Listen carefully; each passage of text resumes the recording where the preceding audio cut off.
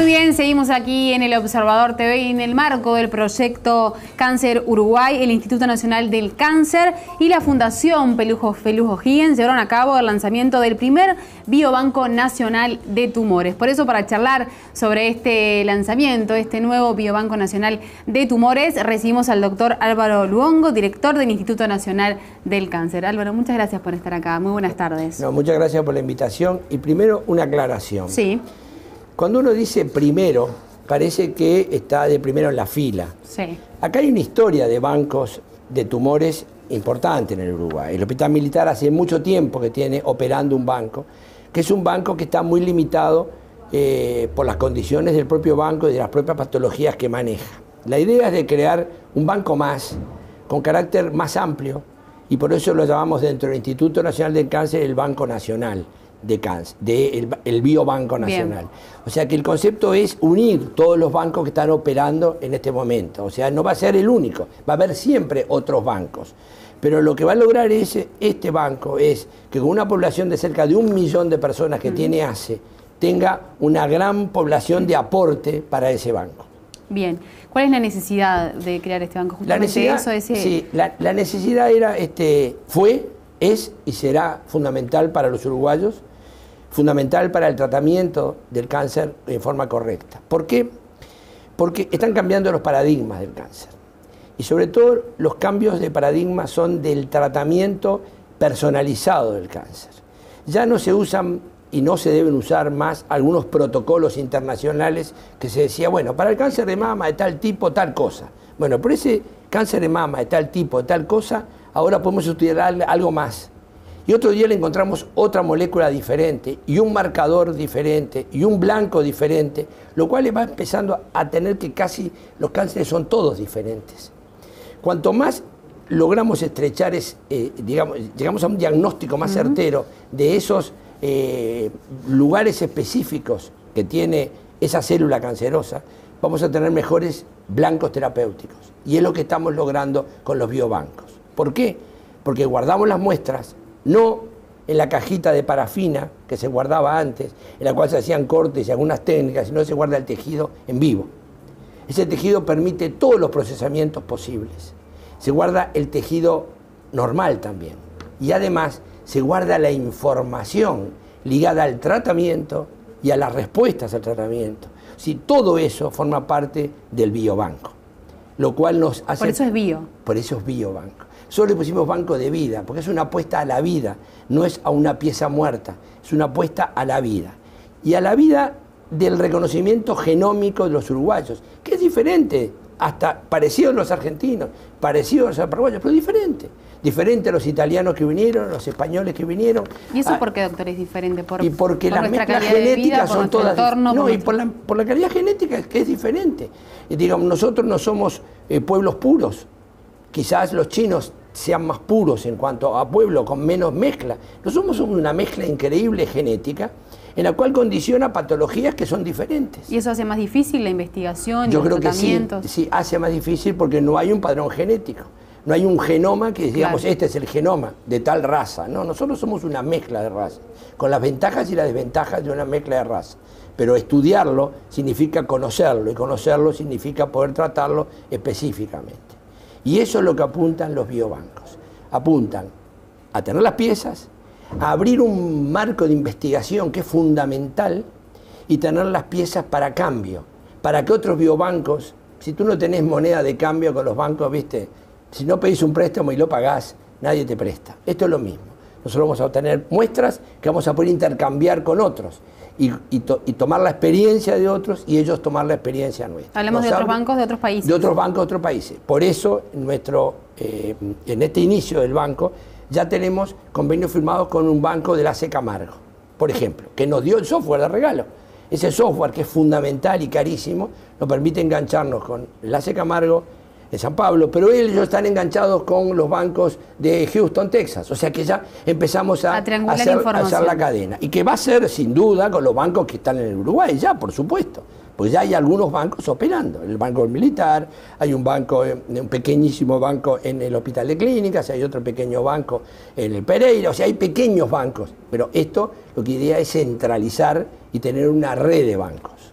Bien, ¿en qué instancia está hoy el banco? El banco eh, comenzó hace unos 7, 8 meses con la donación por parte de una colectividad religiosa de todas las heladeras, un costo arriba de los 100 largos miles de dólares. Ahora eh, se está en las obras de instalación, que están también financiadas, y ahora vino la donación del, eh, de, de, la Seca Amargo del software. Y la Fundación Pelufo Higgins va a ser una campaña, porque el problema de los bancos no es hacerlos, es mantenerlos. Es el mantenimiento. El mantenimiento. Porque hay que pagar sueldos. Hay que pagar sueldos, hay que pagar energía, hay que pagar todo lo que fue aquel drama que tuvo, por suerte, solucionado para el, el banco de tumores del Hospital Militar, que hubiera sido una pena perder todo eso. Nosotros estamos haciendo, junto con la Fundación Pelufo Higgins, este, una campaña para que eso se mantenga. Y esa campaña es como que estamos iniciando esa campaña, en marzo va a haber un, un lanzamiento de esto, y ese lanzamiento, la idea nuestra es especie de buscar algunos socios, digamos, mm, no solamente comerciales para esa campaña, sino socios que quieran aportar y ser parte de ese banco con cuotas muy bajas que permitan la seguridad de operación del banco forever and ever, como dicen, por siempre. ¿Es costoso, doctor? Es costoso, pero no es imposible. Y yo creo que hoy eh, hay cosas que van son las únicas que nos van a dar una salida este, eh, creíble, este, científica y que nos van a permitir ahorrar muchísimo dinero. Le voy a explicar por qué. Han cambiado los paradigmas, los tratamientos ahora son moleculares y son a blancos moleculares. Eso sale millones de dólares, porque esos, esos medicamentos son de altísimo costo. Por lo tanto, si no tenemos la información correcta, vamos a tratar mal, gastar mucho, con pésimos resultados. De esta perder forma, tiempo valioso, perder tiempo valioso, sí, como yo digo, el delta T, que se pierde entre el diagnóstico, el tratamiento, mm. tratamientos mal, mal, mal hechos o mal encarados. Esto nos va a permitir hacer un tailor, digamos, diseñar un tratamiento a medida. Y de esta forma lo vamos a conocer, lo vamos a poder guardar, lo vamos a poder evaluar. Se van a poder hacer trabajos científicos que hoy no se hacen. O sea que los biobancos hoy son una obligación en cáncer. Hay que tenerlos. Y el Uruguay lo tiene que tener. Tiene algunos y los va a tener. O sea que va a ser un ahorro nacional. Es un ahorro nacional, sí, es un gran ahorro. El gobierno francés, y acá hablamos un poco del proyecto cáncer, que es, digo, es para mí una de las cosas más lindas que se han armado, porque se ha enganchado eh, todos los institutos. Hoy yo los escuché antes hablar del Instituto de la Avenida Italia, decían, ¿verdad? Este, que es el, el, es un, institutazo de, el Instituto Pasteur, este, las facultades todas, las de ciencias, la de medicina, la de química, este, en un gran proyecto cáncer en el cual se van a tomar diferentes, eh, digamos, puntos de cáncer. Uno de ellos son los biobancos. Otro es la farmacovigilancia. Francia empezó a gastar fortunas en esto y se dio cuenta que si no centralizaba si no tenía un proyecto, si no tiene un seguimiento de esto, era horrible porque estaban gastando y no tenían resultados. Y por eso se inició este proyecto Cáncer, que es muy interesante y que está dentro del Ministerio de Educación y eh, Cultura. ¿Nos podría contar un poco más sobre el proyecto Cáncer? Sí, mira, este, yo te puedo contar como digo, como uno más del proyecto. Sí. En realidad este proyecto lo dirige el doctor Gabús, que lo hemos elegido para que él, eh, junto con el Ministerio de Educación y Cultura. Y este proyecto Cáncer tiene diferentes patas. Una son las patas clínicas de investigación, otro es las historias clínicas que permitan eh, tener actualizado todas las historias clínicas del país y la protocolización de los tratamientos. Otro es los, biobancos, ¿verdad? Y eh, una cosa muy importante es la farmacovigilancia. ¿Por qué? Porque nosotros hay tantas drogas mezcladas en estos tratamientos, eh, a veces con una dificultad que no tenemos una ley de genéricos en el cual se aportan diferentes drogas, vamos a tener una idea de qué está pasando con las drogas que estamos utilizando, qué resultados están dando, qué complicaciones tienen, si las tienen y qué respuesta tienen. Y eso todo centralizado. Vamos a saber, cosa que hoy no, no tenemos sí, sí, ya no va a quedar solo para experiencia del médico o en su, o su entorno. No, esto es una experiencia global de país con ese proyecto, ¿verdad? O sea que es una eh, y de gran eh, importancia, me imagino, para el interior del país. Sobre todo, bueno, para todos. Nosotros ahora estamos desde el INCA haciendo también un trabajo muy interesante que es, eh, fíjese que el INCA distribuye más de 2.000 tratamientos mensuales de quimioterapia, 2.000. ¿Se imagina qué complicado es controlar esos 2.000? lo estamos haciendo en forma totalmente automatizada, en forma digital, ¿verdad? Y vamos a hacer la farmacovigilancia de esas drogas. O sea, vamos a empezar a saber qué está pasando mensualmente con cada uno de los pacientes, con seguimientos absolutos de los pacientes.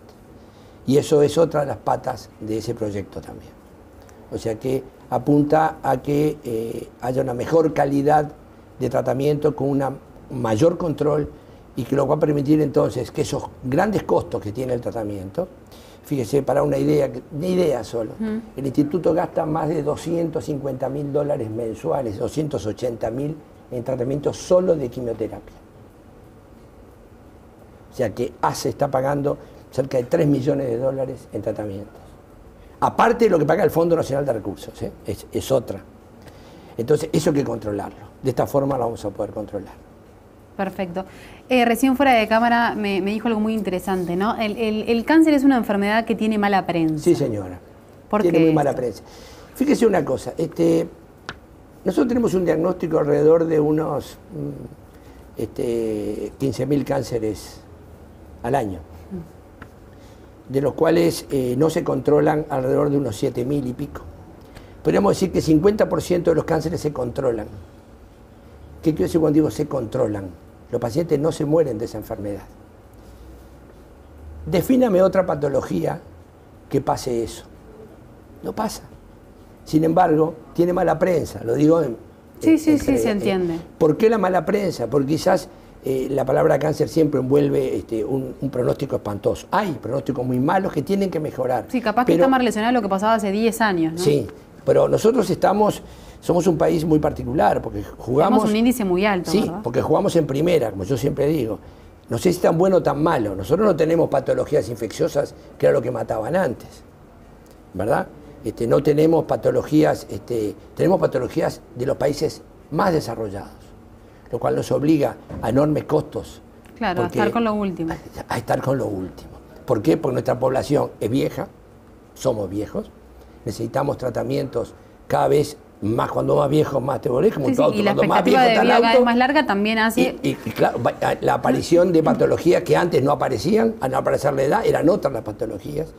Y yo siempre digo, tiene mala prensa porque a veces otras patologías, como la patología vascular, que mata mucho más eh, pacientes que la patología oncológica es más, es más flu. La gente hasta que conlleva mejor un infarto o conlleva mejor una patología vascular que llevar o la que le teme menos, ¿no? Da la impresión. Sí, le teme menos. Yo creo que es eso. Eso por eso digo que tiene mala prensa. Pero va a cambiar la prensa, este, porque cada vez hay elementos más de prevención, bueno, se han hecho políticas, no sé, ahora me viene la cabeza el cáncer de cáncer de mama, ¿no? Que ha tenido políticas, yo creo que muy buenas de prevención, que ha logrado números muy buenos. Pero no, y además este, es un cáncer, el cáncer de mama, que no solamente tiene políticas de prevención o de diagnóstico oportuno precoz, sino que han bajado los índices de mortalidad. Es real, o sea, quiere decir que tenemos tratamientos que son efectivos, que son correctos, que están marchando mejor.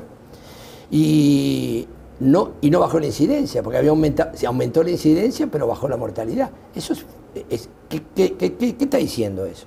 Que estamos haciendo las, cosas bien, las cosas están mejor. Y eso es lo que está pasando. Ahora, cáncer... ¿Cuál es el cáncer que le está dando más dolor de cabeza a los uruguayos? Yo creo que los uruguayos no, se, han dado cuenta todavía.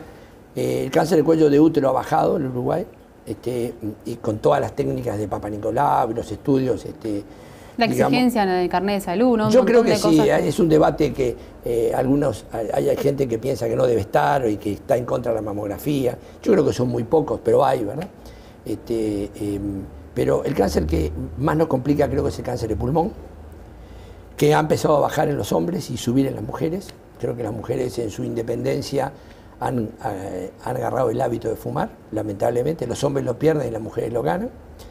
Pienso que hay es un, cáncer difícil de tratar, ¿no? es, muy difícil de tratar. Se están abriendo algunos nuevos paradigmas con esto que yo les hablaba hoy, que está ligado a los bancos, que son marcadores específicos que tienen tratamientos específicos. No es aquí quimioterapia al barrer y algunas se recuperan, otras no. Es pegarle el blanco ese y se han empezado a reconocer ese tipo de marcadores, que hay que estudiarlos, mm. que permiten un mejor control del, del, cáncer de pulmón. Pero sigue siendo, yo diría que... y los ligados a, estos hábitos, como son la parte otorrino en general, ¿verdad? En la mujer eh, hay algunos cánceres que son lamentables, este, que son sordos, que son tenebrosos. Sí, sí, silenciosos. Eh, silenciosos, ¿verdad? Como es el cáncer de ovario, ¿verdad? Que, pero, digo, esas cifras están más o menos con el mundo. El de mama, por suerte, venimos abajo, el cuello de útero venimos abajo, pero las mujeres empezaban a subir en cáncer de pulmón. Yo diría el que nos da más trabajo hoy es el cáncer de pulmón. Y esto directamente, o sea, relacionado muy fuertemente al fumar. Sí, yo diría al fumar, a ver, yo voy a, quiero desmistificar algo y de alguna forma también acusar. Eh, yo cuando hablo a veces con mi mujer, con Rosario, me dice, hay 800 productos que están en lo cuando fuma un cigarrillo. Pero hay uno que es el 6,4-benzopireno, que es la quema de papel. Y ese es terrorífico, porque tiene de todo, tiene cadmio, y es el papel, ya no es ni siquiera el tabaco. Entonces cuando cambiemos el papel de un eh, cigarrillo por el de la marihuana o de cualquier cosa que estemos quemando, no estamos llevando lo mismo. ¿Me entiende el concepto? ¿Y qué pasa con el aire, el aire general de, nuestro país y del mundo? Todos los compuestos orgánicos e inorgánicos que se están quemando permanentemente atrás de un auto que quema mal el aceite. Es un elemento muy tóxico. Eso hay que medirlo. Y eso también es tan tóxico como fumar. O sea que no es solo el fumar. Sí, sí, sí. Eso ya sería un debate mucho mayor. Es un debate mucho mayor, pero que hay que darlo. Porque va a haber que controlar enormemente eso, enormemente, porque hay unos factores que lo estamos absorbiendo todos, no solamente los fumadores. Sí, sí, no solo el que elige fumar, sino, el que transita el, que, los que vivimos en la ciudad eh, todos los días. Doctor, ha sido un placer haberlo recibido esta tarde aquí en el Observador TV. Muchas Muchísimas gracias a ustedes por permitirme charlar un poquito con la gente.